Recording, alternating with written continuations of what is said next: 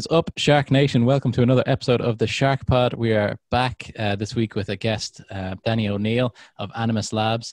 Uh, Mark Baker is also here in Glenageary. How are you doing, Mark? Good, Luke. How are you? I'm good. I'm good. Danny, welcome to the uh, Shark Pod. How's it going? Very good, thanks. Good to be with you guys. Yeah, delighted delighted to have you on here. So, Mark, just give you some background here. Um, I connected with uh, Danny on LinkedIn, uh, saw what he was doing over at Animis Labs. It kind of fits into a few of the things that we've uh, looked in, looked into uh, lately. Kind of business enablement, sales enablement, trying to make the sales process easier, digitize a lot of the stuff that's happening. Um, we've probably had uh, three or four uh, people in that kind of area lately. And um, so delighted to have Danny on here. Danny's the the co-founder uh, and CEO of that uh, that business. Um, he also told us that he's uh, he was in the uh, NDRC cohort with uh, our friend Connor Sheridan. Shout out Connor. Hope you're listening out there. Um, so Danny, I was going to say welcome again, but I've already said that. Let's just get straight into this. Uh, give as a background for the people listening. Um, Danny's had a, a long career in in Dell would be the kind of the, the biggest part of the, the career. And then he's done some stuff after that around, it seems like it's all around AI and it's all around kind of uh, productivity and stuff like that. So we'll dig in there. Um, so Animis Labs, for those of people who haven't, haven't heard of that yet, uh, what, how would you describe that uh, to the people? Yeah, um, so Animis, uh, Animis Labs is actually I founded two years ago. And initially it was a consultancy business. Um, I was helping Irish, mostly Irish tech companies with uh, sales performance right. uh, and how to kind of construct sales and marketing and how to get them working more seamlessly together and so on. And that gradually evolved into a product company called Animis. So Animis Labs, uh, we have a, a, product technology called Animis, and it's a uh, in a, in short, it's a, a sales collaboration hub that helps B two B sales teams do a better job at developing opportunities and closing more deals. Perfect. And is it is the delivery system of that is that like a is it on the back of something like a Salesforce or something that it's like a plugin for that, or is it completely? Yeah, it's a cloud hosted SaaS based product, uh, very standard. Uh, as you know, in terms of products in that space, uh, our view is that we've built it in such a way that it connects into all of that ecosystem. So whether it's HubSpot on the marketing side or Salesforce or all the way down to you know customer success, Zendesk, Gainsight. Our vision for the product is that it it kind of sits at the center of that ecosystem, and and really is the place where different members of the sales team collaborate. It's interesting as well because as you go up the I guess the value chain in sales, it gets way more complex. It gets way more people are, are going to be involved. It's more of a team effort, right? Um, so I noticed with uh, normal CRM products, it's not really set up for collaboration in that way. Um, like Salesforce, HubSpot, it's not. It, it is. It, they're all kind of designed to measure the performance of the individual. I think, right? Um, yeah. Interesting to see the kind of the the breadth of uh, of what we can do there. What's the it, what's the kind of what would we say? What's the the target market for the type of sales teams that we want to be using the product? Yeah, um, so you're exactly right. As you say, you know, um, when you look at B two B selling, it's a, it's a very broad spectrum. On on the on the one end, you've got quite you know simple transactional selling, which are fairly repeatable, right? There's it's not too complex. You know, the customer buying process is fairly straightforward and then you've got that long spectrum all the way to complex enterprise selling, where we see you know constant change, lots of decision makers on the customer side, convoluted backwards and forwards decision making. Um, and and really, as you say, you know, solutions in themselves have become much more technical to sell, generally speaking. And because of that, you you you need the team. You need to bring a team together. Um, so what we see, and we, you know, even going back to my Dell days, we would have internal account managers, we would have field salespeople, we'd have our technical experts on storage and networking, we'd have software experts, and on and on and on, right? Um, so today, and I'm not even going to say it's just complex selling, but generally speaking, you know, to, to be successful in B2B selling today, generally speaking, a team effort is needed. Uh, and that's really a question of bringing in experts at the right time across the sales process. So I think Animis Labs fundamentally is helping to bring those different team members together, really, so they can, you know, engage with the customer in a in a in a kind of meaningful way, right, and deliver value at each point of their buying process. Perfect. It's really really interesting for me as well because I've got like if let's take HubSpot. I know we talk about HubSpot a lot on the on the podcast, Mark, but uh, it's just because I I spent all my time working there. Like, but um, every every year or every two years, we're adding another hub to the suite of products. Um, so what when I started, uh, whatever four years ago, we were we were doing CRM, but we were really a marketing uh, platform, right? So it's very I know how to sell that. I know how to. Uh, I'm really selling to a marketing team. Maybe there's this uh, CFOs involved in the buying process you know, but it's it's pretty straightforward. Now uh, we're selling a marketing product, a sales product, and a service product, um, and a CMS. So there, that's a vast amount of people that we're trying to get the go ahead on this, and it it really does um, create a lot of um, a, a, lot of uh, decisions have to be made about who's going to be uh, doing what in the in the in the buying process or the selling process. So I've got my yeah, my sure. sales engineer, I've got my BDRs, I've got everything kind of try to work together. So I do see the the gap for this. Is there what's the uh, like how are, what's the vision for for selling this? Is this going to be kind of the Mailchimp way where you can just go on and um, you know add to cart, or do you think that this is going to be is this more of a complex thing to sell? Uh, what, what's the kind of vision for the the sales process for for you guys personally? Yeah, that's a that's a that's a great question, and I guess we're at that early phase where you know we're still trying to f- get that product market fit right. What's what's been really interesting over the last uh, I guess six months, particularly going through the NDRC program, we spent a lot of time talking to various size customers, right away from kind of mature enterprise, uh, all the way to startups and, and scaling companies. And what's interesting is I think initially we thought, look, you know, we're we need to lead with this complexity message and we help with complex selling and collaboration and you know how, how to get teams to be more responsive and adaptive. And, and that absolutely resonated in the enterprise space for sure. But what we found and i think many founders have found this right selling into enterprise from the get-go is is difficult you know? They themselves strangely enough have complex decision making processes. So we were kind of trapped in this irony i guess um, but interestingly, then um, the startup founders, people in growing kind of tech companies, suddenly were you know start start we we found this kind of natural pull where they were absolutely could identify with the the, the difficulty of selling into into their customers, and we're really keen to try and figure out how can we build this culture, build this best practice in from the get go. Hey. So when we described Animis as, you know, not only trying to help you get the collaboration culture right, but also actually trying to guide you with some sales best practice, they really found that uh, found that interesting. Um, and when we said, look, we're not we're not we're not trying to compete with lots of other products out there that do a great job in their space. We're trying to pull all those signals together so your teams can make sense of it and respond more effectively. They really got that. So um, yeah, like, I like that idea of the the kind of the smaller companies that are on the way up because they're trying to put in uh, structures that they can like scale. If they're going to be a scale company, I'd say that that's a lot of the decision making as well. Can this work at 10x what we're doing now? Do you know?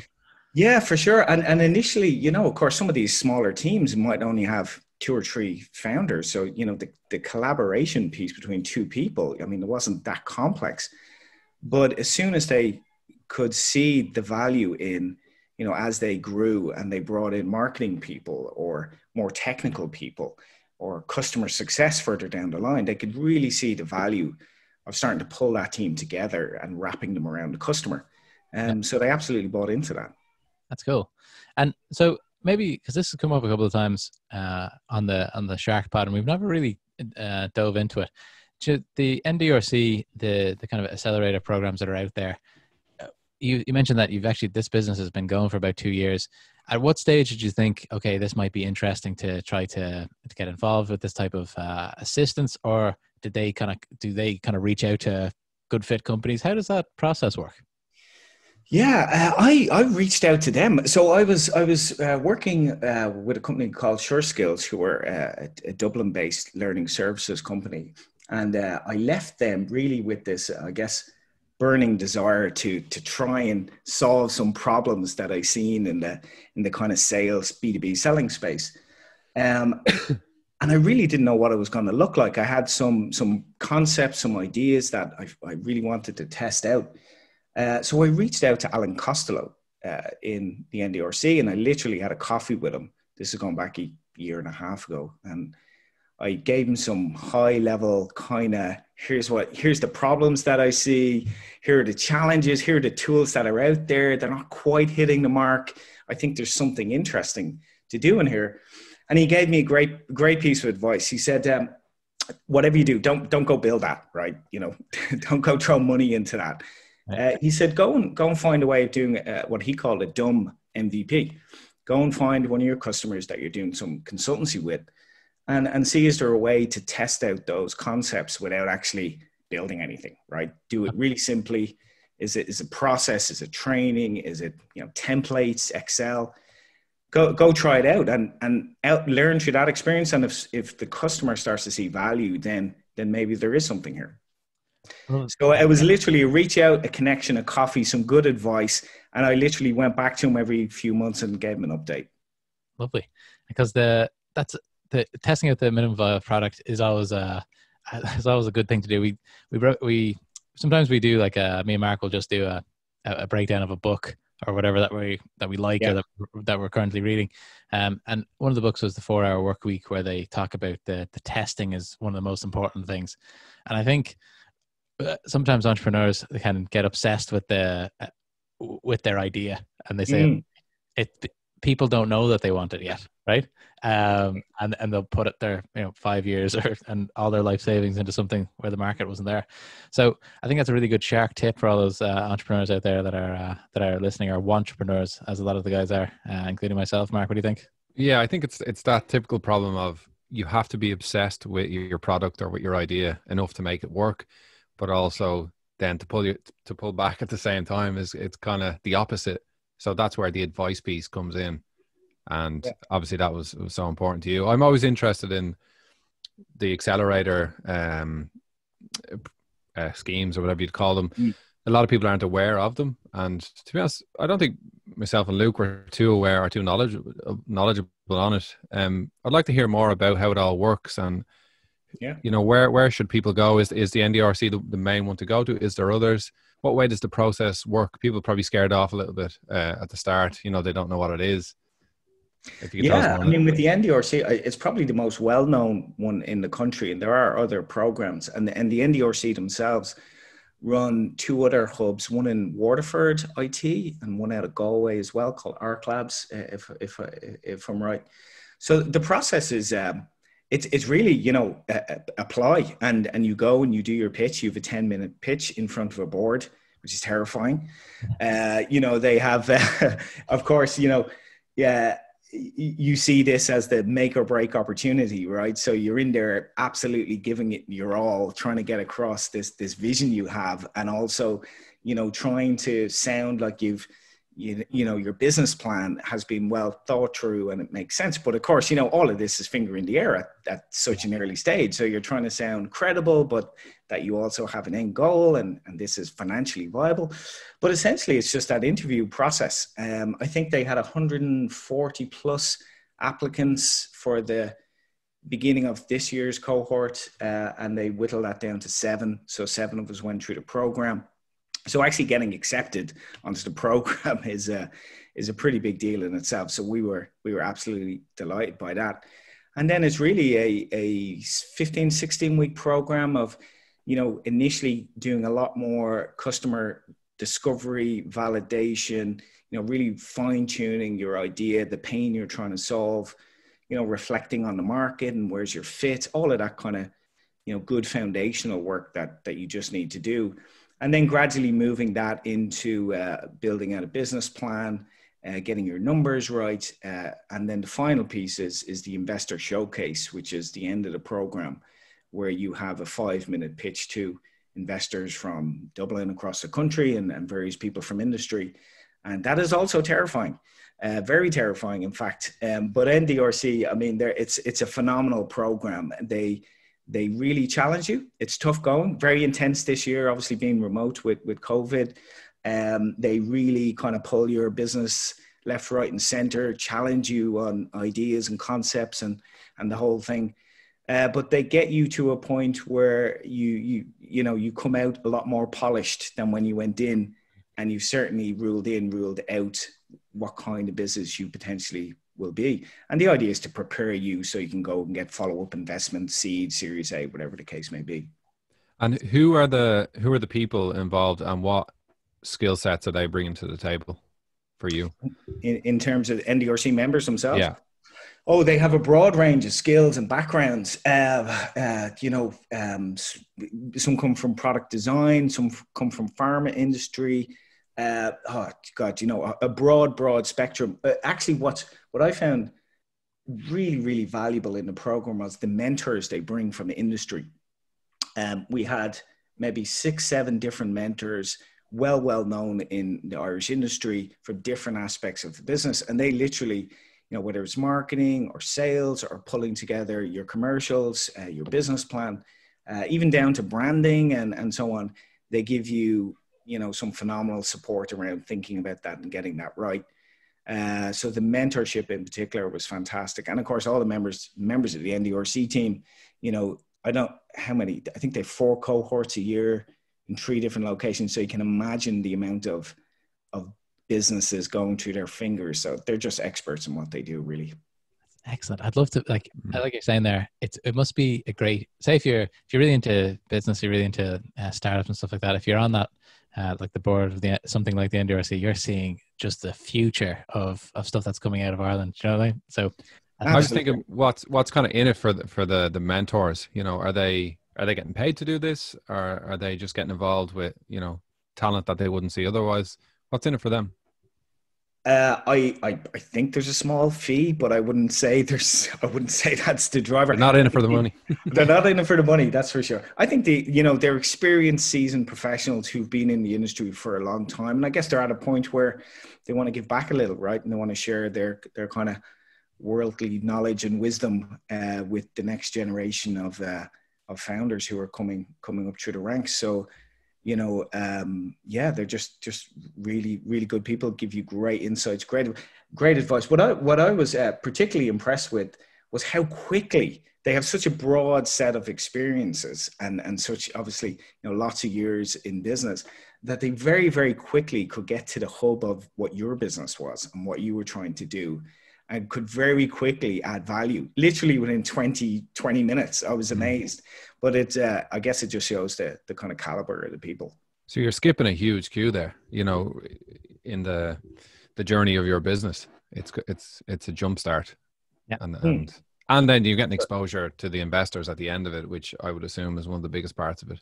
you just wouldn't have that those yeah. that network without it well, it's just it's just professionalizing you. You know, it's getting you prepared. I mean, I don't think anyone uh, really expects that you know at the end of the program there's going to be somebody there with a massive checkbook, but mm-hmm. it's it's it's taking you to that next level, giving you that exposure, as you say. You know. Yeah, like like other Mark, like otherwise, how would you get a, a group of investors together to to listen to you for this in that kind of format? Mm. That yeah. the standardization is uh, a big plus there. Also, like uh, Mark, you mentioned like what's in it for for people that are helping out. Like I remember we had uh, a guy in our podcast called uh, Brian Caulfield. I don't know if you've heard of him uh, before. I know Brian. but you know Brian, yeah. yeah. And he was saying that sometimes when you're talking to these new uh, newer companies, um, like it just gives you it, the people who want to help out. They're getting almost first crack at this as well. Like if it's something that they they want to invest in or something that they can get involved in, sometimes yeah. stuff comes from that. So it's like any type of networking, I think, as well if they're interested in that type of business, it might be kind of a, another way in. So interesting as well. Um, okay, so when you're okay, so at this stage you uh, had kind of validated your your process uh, on a kind of a, a dummy uh, basis with some of the consulting work that you've been doing. Yeah. When you validate it, they say, okay, this is this is what we want to do. The the building phase, like, do you have enough kind of tech background to get a a, bit of a, a like a, a, product kind of uh, sketched out, or do you need uh, somebody to come in and, and give you a hand? And that's it. Uh, I needed someone to come and, and give me a hand. I, I don't have a technical background, uh, but in the last company I was working for, we we were doing a, a corporate spin out. So I got, and we'd we'd hired a team, and we were developing some products. So I, I'd had some exposure to it there. Um, but in short, no. And if if I even tried to say I was in any way technical, you know, people listening to this would who know me would just kind of crack up. So uh, no, I, am not uh, a tech guy. But uh, a friend of mine had had his own startup in the UK a couple of years ago, and he, had been using a, a developer who I really liked his work, and I just kept in touch with that guy, reached out, connected with him, based in the UK. And he came over to Dublin. We spent a couple of days just talking and kind of fleshing out ideas and and so on. And uh, I've been working with that person for the last uh, year and a half on the product. Perfect. We'll, we will ultimately plan to bring it in house, but it's all about timing. And you know what we've been able to accomplish with uh, with Dan has been uh, has been pretty incredible.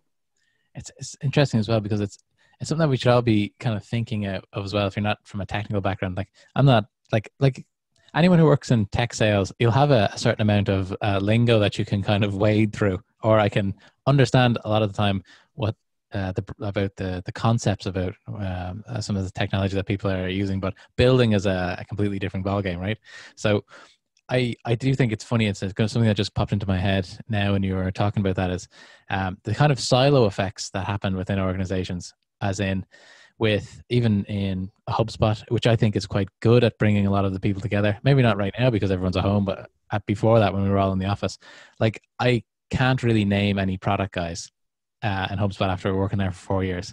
And these are the types of things that we should be. If you're if you're not technical and you think you want to build something in the future, um, you may not may want to kind of focus on that for a little bit of uh, networking as well. Um, absolutely, yeah, absolutely. I mean, I think I think you know, and, and this you know kind of goes back to some of the philosophy of what we're trying to do with with the Animis platform, and I've seen this firsthand. Um, you know, when you have a customer uh, and you're engaged with them about you know how your product can deliver value. Uh, when you bring a technical perspective into that conversation um, it just changes the dynamic completely. And hmm. some people would say in a bad way right? I, I don't believe so. They always they always see a different angle a different opportunity. They know uh, how technology can add value that you just can never get your head around. So um, I think the more we talk to our tech colleagues, partners, friends, um, the better it'll be for sure. Yeah, absolutely. So even if we could, there's nothing that has ever in any of the tech companies I worked in, there's never been any real effort to do. Maybe that they do, they don't want the salespeople talking to the the product people in, in case there's too many spin-offs but uh, there's never been that, that type of overlap. We even are like we have kind of different parties uh, you know during the year and stuff. It's not everyone together a lot of the time. Yeah. Uh, so something to think about. Uh, because me and my uh, one of my friends um, who's also in sales, not in HubSpot, but in a, a similar company to HubSpot, let's say. Um, and we were talking about a business idea that he wants to to run, and I noticed that the partner that he had or who he was working with on was uh, almost identical in skill set to, to him. And I said, maybe there someone else uh, could have a look in this. It might kind of accelerate this a little bit more if you had a, a different set of eyes, more technical eyes.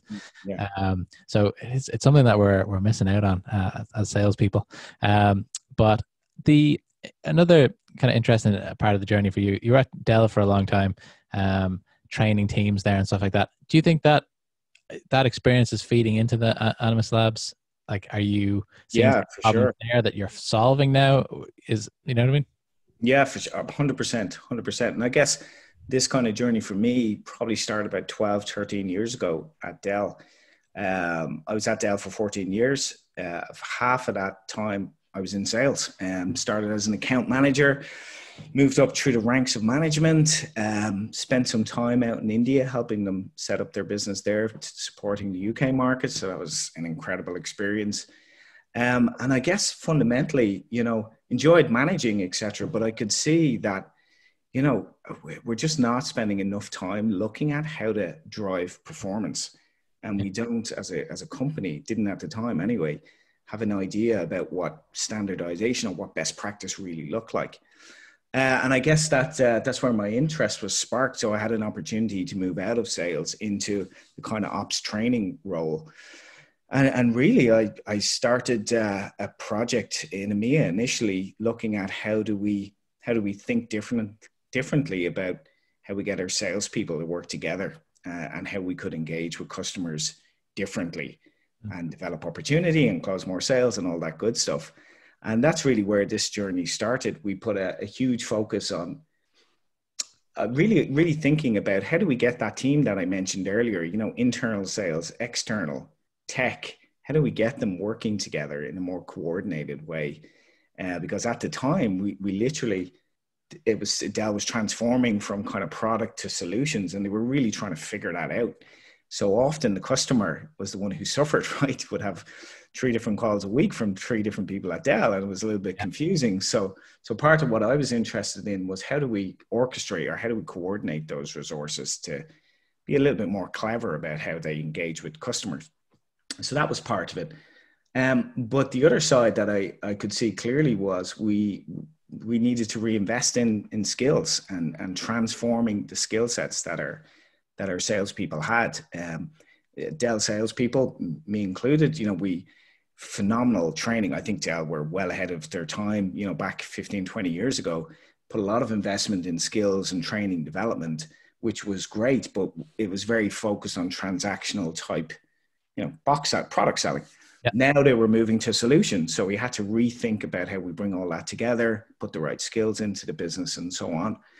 Um, and what I, I, guess the learning out of that and uh, for me was, you know, to drive high performance, it's not just it's not just people, it's not just product, it's not just process. It's really how do you bring those things together in a in a in a way that kind of enables the team uh, to, in many ways, kind of self-organize and self-direct, right? Because, you know, I guess if you if you look at how traditional management structures are, it's a lot of top-down command still, right? There's a lot of kind of you know sales planning and sales forecasting and account reviews and you know what's your number this week? How are we tracking? How are we phasing? What's your recovery plan right? That's the, the common language of, uh, of a sales uh, manager. But i guess what i found really interesting was that you know when you enabled people when you gave them the opportunity you gave them a certain level of, you know autonomy they had this incredible capability to put their heads together crack on and, and do some really innovative stuff that generated more sales. And the upside of that, right? The upside of that is you get you get these very happy employees who feel liberated, right? You get these happy employees who are going, "My God, I just, I'm I'm being trusted here to go make this happen." Yeah. Uh, so I, I, guess it was that those learnings that you know again kind of developed and evolved over 10 years to, to, to, to the Animis platform. And I guess we're trying to bring all that together with, with the platform. And Danny, could you could you give us like a working example of how the how Animis would work in a in a large company like like a Dell or so on? Yeah, for sure. So, uh, you know, there's there's really three key parts to it, I guess. Right. The first part is the collaboration piece. So, if you can imagine um, bringing a team of four or five cross-functional team members together. So, let's say internal sales, maybe external sales, marketing, and and we know that's becoming more and more important as time goes by because companies are trying to get to this account based marketing, this personalized experience, this tailoring piece. So that's an important piece. Product, technology, as we've talked about, customer success, right? This, it's this ability to bring that core team together to form a sales collaboration team or pod around an account that you want to develop. So it's the collaboration culture is central to this what we, we've also built into Animis is a framework of sales best practice that's much more focused on the customer buying experience rather than the inter, an internal sales process.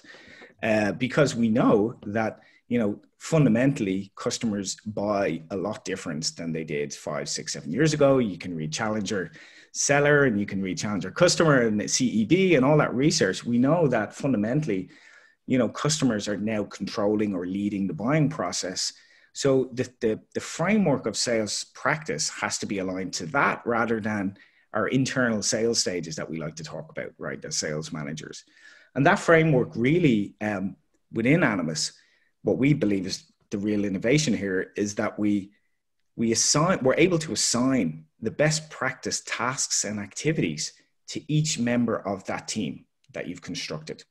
So whether that's your messaging person from marketing or your account manager or your technical person, depending on what phase they are in the customer buying process, we can recommend to them or assign to them specific tasks. So it's a framework of best practice. Now, it's not rigid, and that's absolutely key to call out. We're not saying you must follow this every single step or you're a naughty boy and you're going to get in trouble. What we actually do is this is a framework of reference, a framework of guidance, and you can adapt, you can, you know, uh, change, you can add to with the with the idea really that we're giving you some swim lanes to keep you between as a team so that you can drive a good result but we're allowing you to adjust and adapt it at a, at a customer level. And then the final part is just that is is the closed loop piece. We we want to be able to give not just managers but also the team themselves insights into how effective some of the work they're doing is on the customer so we capture customer response uh, promoter scores based on sales messaging that we're creating as a team and delivering as a team. Uh, I'd love to say, you know, it's high tech and it's and it's it's uh, you know it's uh, it's all AI driven and it's there's intelligence there. It's not. We're trying to drive good old fashioned, you know, B two B sales behavior here. So we're asking the team to really capture that within the system so they get a really clear picture on what's working, what's not working, things they need to change, things they need to prioritize Does that makes sense? Yeah, no, it does. Yeah, and uh, does somebody need to to lead that, or is everybody does everybody have their own piece of the pie, and everybody's equal in that process, or? Yeah, and typically we it's and this may change, you know, company to company, but typically it's the account executive, account leads, you know, multiple names, usually sales executive, but usually it's the senior salesperson that kind of plays the quarterback. Mm. So if you you uh, if you think of You've identified a target customer, you assign that customer to the account lead. The account lead then within Animis has the ability to reach out and pull in other members of the team. Um, uh, actually, that could also be a partner. If you're working with a third party partner, you, you might want to pull them in to collaborate on the sale. But, uh, but yeah, the account lead is basically responsible for, for driving the team and coordinating the team across, across that sales process. And you mentioned um, best practices. What what would be some of the kind of best practices for B two B business to business sales? Yeah, that's a that's a great question. Um, you know, I think I think, and this again, you know, is based on talking to and working with lots of B2B companies from startups to large enterprise. And there's a common theme across the board. And that theme is, you know, customer decision making has become a lot more complex. And um, we see a lot more decision makers involved. We uh, we see from you know in in some companies seven, eight, nine decision makers, all the way up to in a life sciences company I was talking to 25 to 30 stakeholders in a room, right, where you're present, and it's it's just crazy. So you know that the, this customer decision making process has become a lot more challenging for sure. Uh, customers themselves, interestingly enough, are also um, struggling because they're constantly bombarded with content right? You know every day in their feed the next solution the next product reach out to us. We can help. We do things differently right? It's a it's a it, they're, it's they're extremely burdened let's say with with with that content. Um so i would say you know what's really important is that the team needs to come together and figure out a way to how do i not only identify who those decision makers are but actually start to build a deeper understanding of their buyer personas. What's important to them, you know, buying criteria, motivations, uh, biases perhaps that are in, lurking in the background, and um, understand, uh, gain an understanding of that profile. But the team has to figure out a way. How do you bring them together to form a consensus for for your solution? Um, when you look at the data, what we see is, you know, on average, 50% plus of deals today just stagnate simply because those decision makers, those stakeholders, just never come to a conclusion, never come to a consensus, right? The deal just stagnates. So it's really, really clear today's B2B sales team has to has to come together to figure out a way to help the customer through that journey. And they have to be uh, very conscious of the different stakeholders who are involved in that decision making and how do you bring them together now that is not easy right i mean that as i described it that is that sounds complicated and, and it is it's it's complex not surprisingly it's a difficult thing to do but the reality is that teams who don't make an attempt to move in that direction are going to still struggle with the same problems, you know, down the line. Half their deals stagnating. We see close rates in the industry going from 15% upwards, 15, 20, 25% tops. So 75% of deals just either are lost or just never happen. And and you know, Animis is really about about helping teams to to do a better job at closing more of those deals. I love businesses like this, Mark, where you can, when you're selling into a business, if you can, okay, maybe you can't at the beginning like kind of guarantee uh, increase in sales, but if you can kind of convince them that this this has a possibility to increase sales, anything attached to uh, the the revenue is so much easier to sell than some of the more abstract stuff. Like just from my own experience, if I sell so selling a marketing product, it, it can be we can say, okay, how many leads you need uh, in the next six months to hit your financial goal. We can come back with a presentation with the software to say, okay, if you put in this, we can not guarantee it, but we can see a path where this can uh, where this can happen. Yeah. Um, so it's a, a very strong uh, kind of kind of selling motion towards that type of uh, motivation, like you said. On the other hand, if we sell um, like a, to a service services team, like the support team, they're their motivation is completely different. They actually don't really want to change because any type of change, there's no upside for them other than some efficiencies that they're not really going to get paid on if it is more efficient. There's no, you know, uh, so it, it's a completely different motivation there. So if you're an account executive, um, like Danny was saying, who is more focused on the person who is easier to sell to, which let's get be honest, that's what salespeople like myself do as well. We focus on the people who want to talk to us and who we can really get into yeah. um, and without having the knowledge of the motivations of all the other uh, buyers personas there's just a big gap there that that needs to be fixed for sure so super super interesting there yeah uh, I'm, I'm interested in that you know 75% of of sales that are kind of in limbo those ones that just sit there they really get me you know it's and but they're the hardest ones to to convert that that it's, it's like the 80 20 rule again you know those yeah, absolutely. Yeah. yeah, absolutely. And you know, it's um to to to your point about you know salespeople just focusing on you know the easy sell, right? You know, the, the guy, you know, I'll build a really great relationship with this one person, and we'll look after each other, and we'll tick the box, and we'll have some steady revenue, you know. And you know, I think those those days are over, right? I, I, I think I'm I'm seeing a turning point where business leaders now recognize we we need to think differently about how we do sales. We just cannot put all this time and investment into having 70% of plus of our deals just sit there. Yeah. Um, so I, I've really seen and certainly accelerated with COVID for obvious reasons, um, you know, this this willingness of sales leaders to say, look, let's let's look to see how we genuinely can get this transformation right.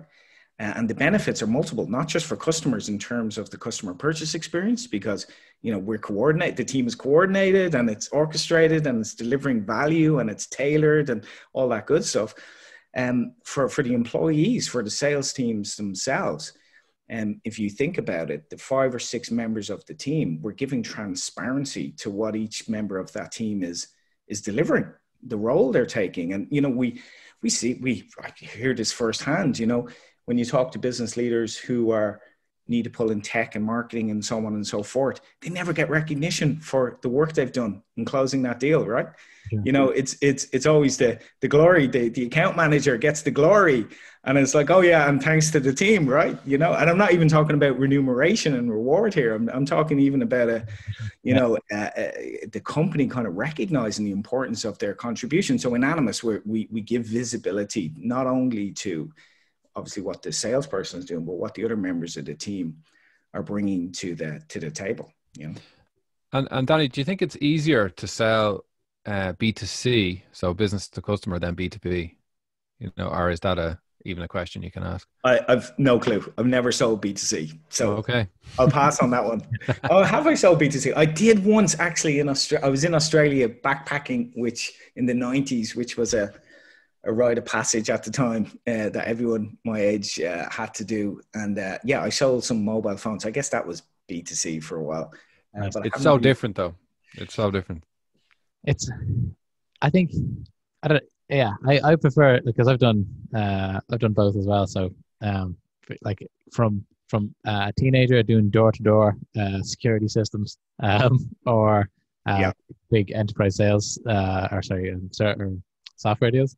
Um, I it, it's a different a different thing. Like it depends on the type of person that you are as well. Um, we talked about earlier about that transitional or uh, transactional sale. That's very mm. quick. Uh, some of the people that I know like to turn over. They need the wins all the time. Every week they need the wins. Um, and then there's some people that don't mind working in the sales or like you said, a year to 18 months of, uh, of kind of grinding away for a big deal. I think uh, for me, I'm kind of in the middle. I, I, I, I kind of need wins now and then to keep the keep the the fire kind of stoked. Do you know what I mean? If it's a really long term uh, thing, it, it does make it more difficult for me. Like I, I was one of my friends uh, works in air was it airplane leasing. Uh, probably not a great industry right now to be in, but um, a very lucrative industry. You know, over, has yeah. been for the last ten years or whatever. Um, and like once a year, if they're lucky, they'll get a big order. And I'm just said, like, that's a that's a lot of pressure all year, you know, and that's what, that's a lot of the re- remuneration is tied to that. And I'm like, yeah. I don't know if I can just, I don't know, I don't know, Mark. Mark Baker, do you think that would be a good way to live? What do you think? Uh, well, I think I think I always say like a mix of everything. Um, yeah. kind of keep everything balanced is, is good. But um, sales, I think we we uh, Danny, we always talk about sales, and I'm an I'm an accountant mm. who who's in recruitment now, so I, I kind of have a bit of a mix. Um, I felt when I was younger, certainly, that there wasn't as much um, sales wasn't kind of in your face that much. It was always, you know, be profession, you know, do a profession, whatever that may be. Yeah. Um, is there any good courses, you know, diplomas, anything like that on the sales uh, on the sales side now at the moment that you'd recommend to anyone who's interested in going down that route?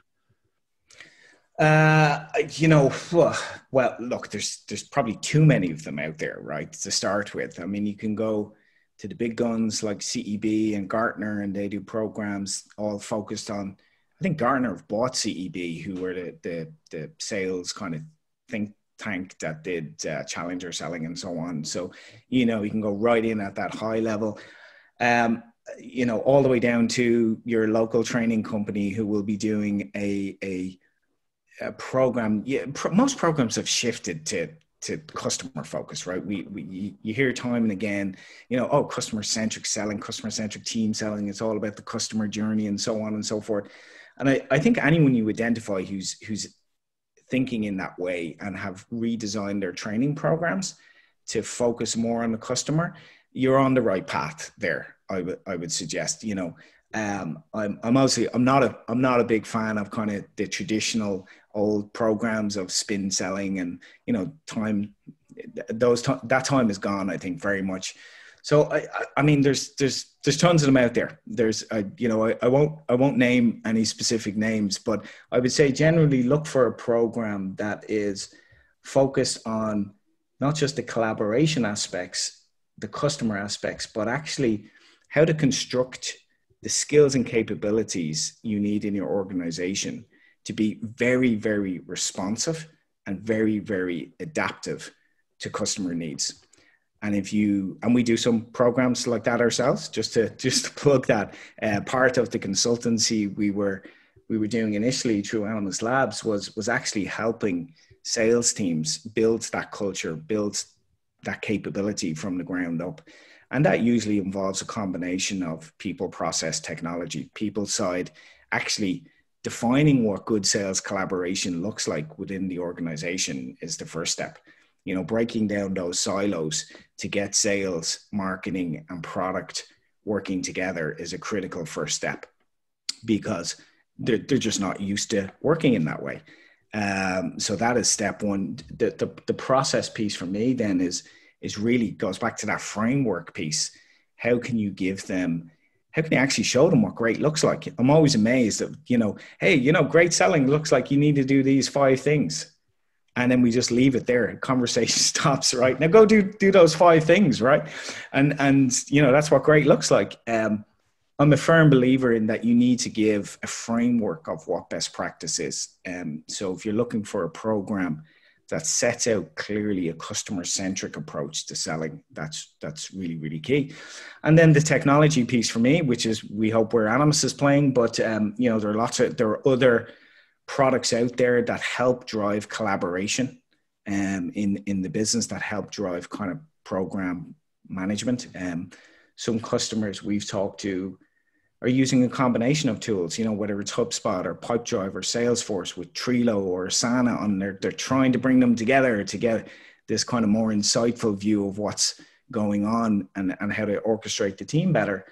Um, so getting the technology pieces right. If you can bring those three pieces together, or you find a program that can help you bring those three pieces together, you're you're you're in good shape. I like it.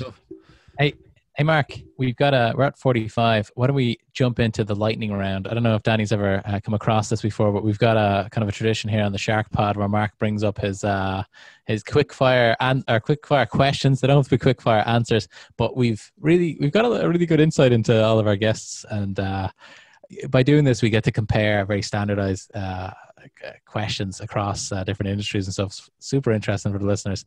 Um, again, no pressure. You can also answer as long or as short as you want. But Mark, what do you what do you got from? Okay, what apps on your phone do you use the most? Um, a new one I've started to use AllTrails, uh, which uh, is amazing. Uh, it gives you uh, it literally obviously GPS locator knows where you are and can recommend walking trails all oh. in your area or oh, wow. in the country, and then gives you lots of great detail about those trails. You know, distance, duration, how difficult, places to stop, all that stuff. It's really good. Cool. That's a great one, actually. I'll, download that. Um, what's the best business idea you've never acted upon? Hmm. Um, you know, I yeah, I I don't know. For me personally, I don't know if it's about. I always think I have. I always think if I haven't acted on something in the past, it's probably for some good reason that I not couldn't quite articulate at the time. But somewhere down the line, I'll go, thank God I never did that. Right? uh, it's just the way, it's just my own kind of theory on how things work, I guess. Um, you know, I definitely think there's there's lots more opportunity in the in the learning and development space, particularly in, in sales and, and how we get teams to work together. Like if you think about it, there and this goes back to you know my experience in sales training and learning and development. If you think about it lots of great solutions out there today that are phenomenal at delivering learning content to you whether it's you know moocs or edx or degreed or you know uh, edcast. There's, there's dozens and dozens of, of great places you can go get learning. But actually um, i think where it falls down is the transfer of that learning into the workspace into the workflow so you get people who take trainings and you can have it in any size or shape you want nowadays, from two minutes to half an hour or you you know you name it. The the diversity uh, is huge, but actually, you know, do we do we is there any way that the investment in those programs have translated into behavior change? Yeah, and I think we really struggle with that. I think a lot of business leaders unfortunately still see training and development as a cost you know, as a tick in the box that we have to do, and we know we have to do it, and we'll make the investment. But actually, I don't know if they really believe it's a true driver of the business. And I think, yeah, I think there's a, a middle piece. There's a space in there somewhere for some piece of technology to do a better job at demonstrating that transfer of learning. I think so. Uh, that I makes sense. Yeah, it's a great point. I've done lots of uh, you know the online uh, courses like that you have to do and work for you know compliance and that type of stuff for all those types of stuff that I, I think any business has to do in Ireland you know with their yeah. staff and to, to drive the, the behavior change there's there's no follow up on that. There's a there's a little bit of questions and answers at the end. So you might have have that you know have read or watched the videos or something but to actually say okay is this going to change the way I've I've, uh, I've been working? And I think you could probably build something like that uh, with sales with sales training in a CRM because everything you do is monitored in there. So that, that could be so that could be an interesting idea. Well, we're, we're partially doing, uh, and hopefully that's where we get to with Animis because, um, you know, as I said, the third part of Animis is is actually giving the team insights into, hey. you know, things they're doing well and things they're not doing well. Uh, and what I found in the past is when you when you give when you enable teams to see that themselves, they act on it, right? They go take an appropriate learning, and particularly if they're one part of a team. You know, there's this peer. I don't want to call it peer pressure, but you know, you don't want to let the team down, right? Uh, if you're struggling with a particular sales skill, and and that's evident, um, you know, the likelihood is you'll go and, and fix that and take some training to bridge that gap, and and you would hope other members of the team will do the same thing. Fabulous. Hey, Mark, what do you think? What's what's next on the list there? Um, if you could do business anywhere in the world, where would it be? Uh, Ireland, I think. Uh, yeah, uh, yeah. I mean, uh, I've worked in the US. I've worked in India. I've worked in uh, Australia for a while.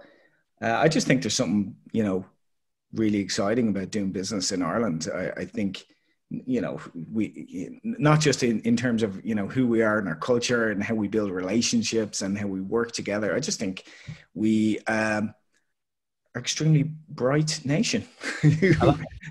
Right? You know?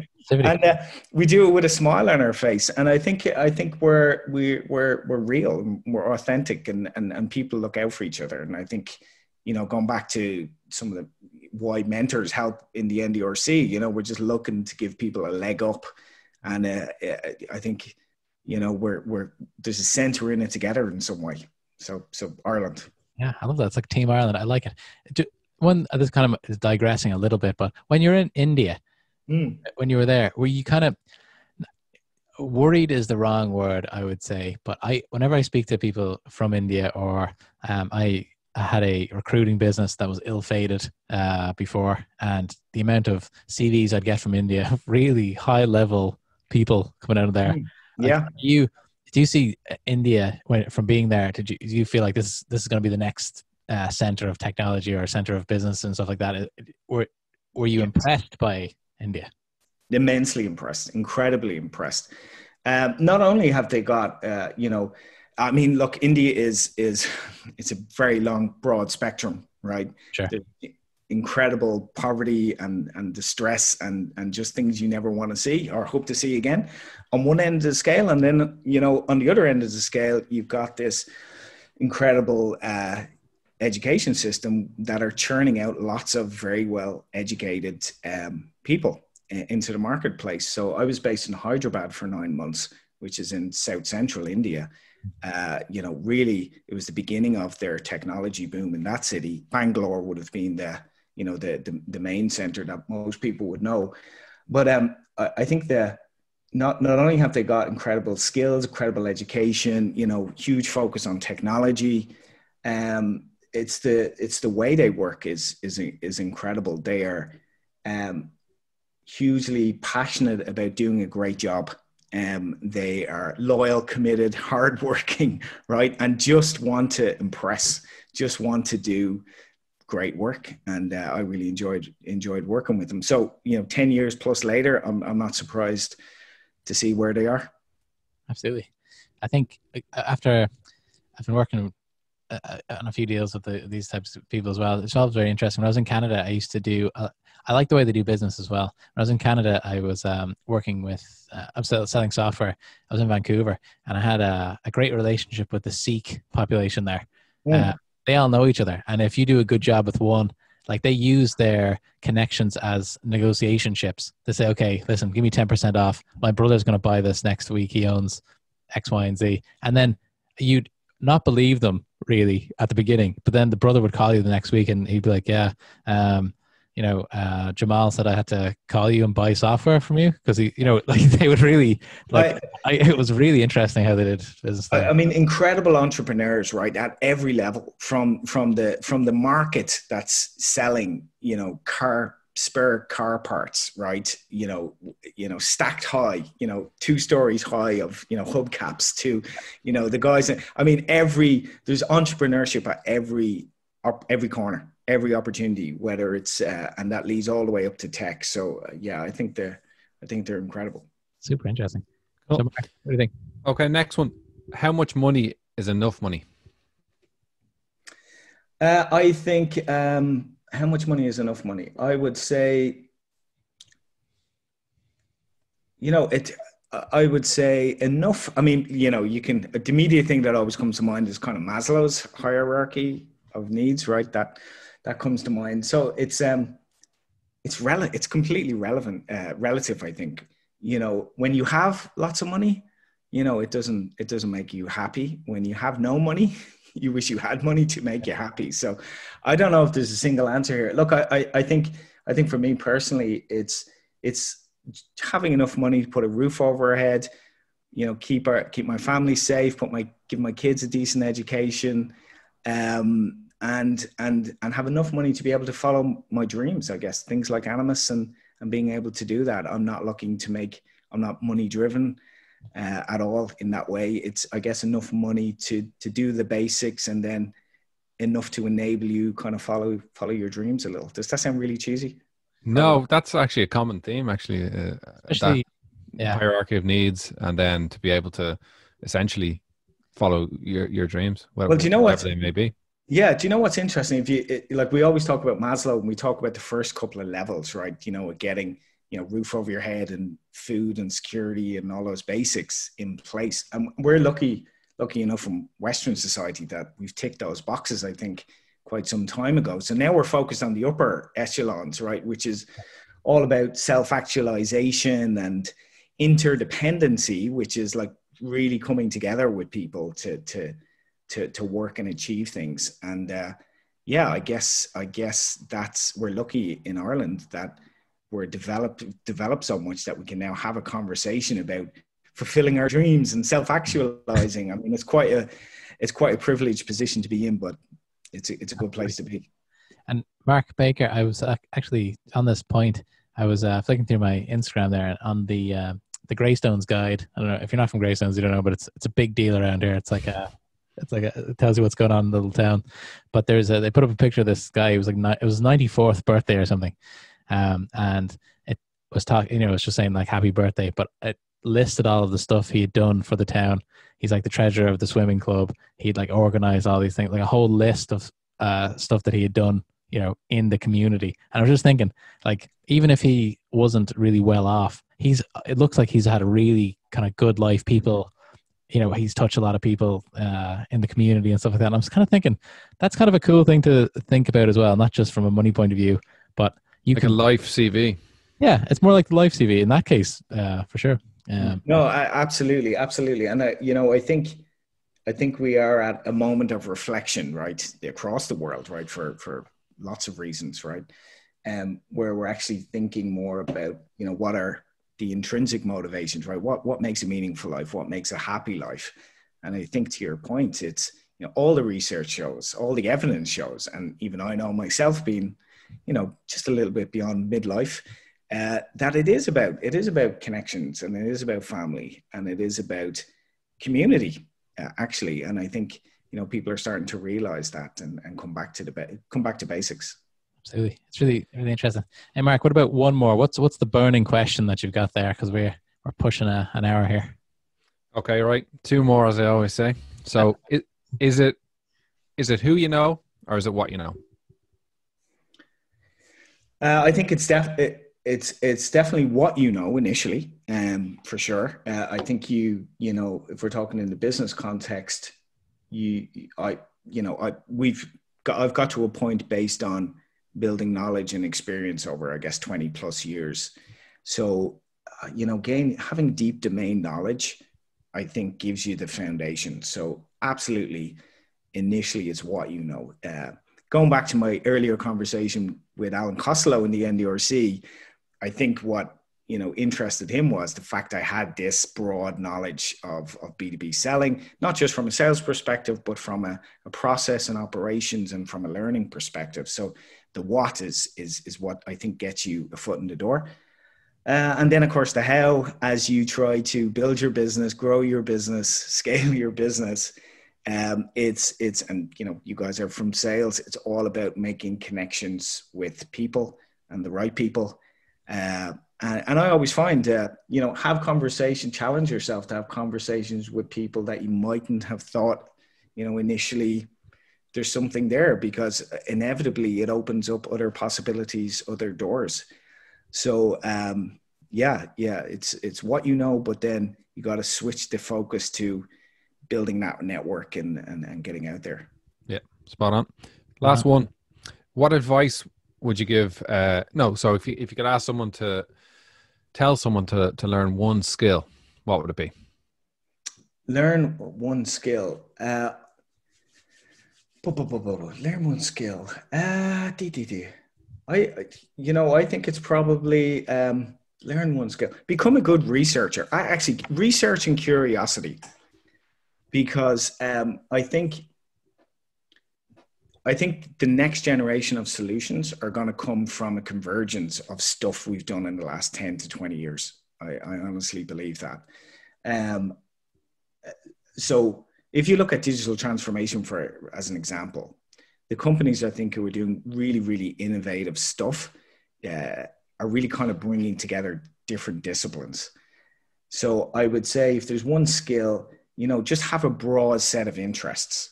You know, technology, people, culture, politics, economics, socio uh, uh, politics, you know, what, whatever the case is, just have a, a, very broad set of interests because I think if you have that, you can start to make some connections and join the dots between those different interests. And I think ultimately that kind of fuels new ideas, new concepts, and, and innovation. Excellent. Perfect. Perfect. So there's one more question uh, that we ask our our our, sh- our sharks on the shark pod uh, every week. Um, would you prefer one a T-shirt that looks like this, or would you prefer a uh, a mug that has that logo on it? What what, what would you prefer uh, to have? I I think the T-shirt. I mean, you I, looks it, it looks good on you. All right. I, I can see that. so we'll we'll we'll organize the the the shirt. Uh, Danny O'Neill, thank you very much for coming on the Shark Pod today. It's been great to have a chat with you. Best of luck with Animis Labs. It sounds like it's just about to to really kick off there. So uh, we'll watch from the sidelines uh, as as cheerleaders, like all the other people that we have on our on our podcast. Um, love the stuff about the uh, reorganizing how people uh, do sales in the modern environment. Love the the last few uh, answers from our um, for our quick fire questions. It's all been great. So thanks very much, and uh, we'll we'll let you know when this one is out. Thanks, Danny. Thanks, nice, Danny. Thank you very much. It was fabulous. We had a